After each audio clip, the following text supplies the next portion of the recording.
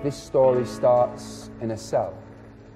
It's the story of how the West's colonial nightmare of Islam came to life. A vision made vision and flesh.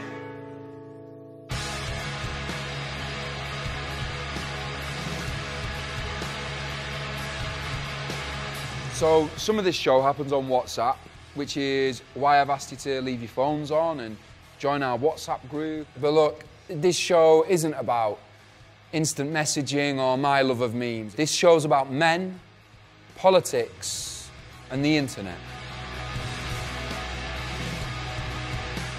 He finds a magazine called Dabiq. De Bir makes him dizzy.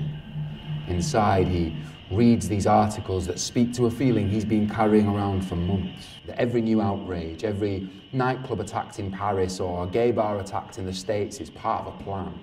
A plan that will bring this world that torments and humiliates Muslims, that torments and humiliates him, to its knees.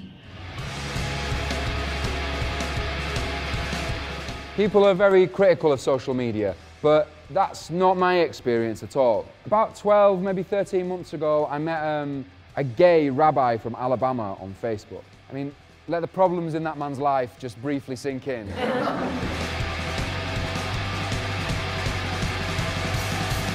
stale smell of stale teenager staining the air in that comfortable Orange County bedroom. But there's a new president in the White House.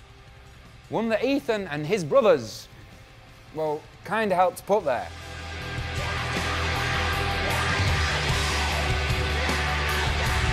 Ethan sends messages, demands translations, links to news aggregators and right wing news sites. He clicks send. All across Europe, people go to the polls.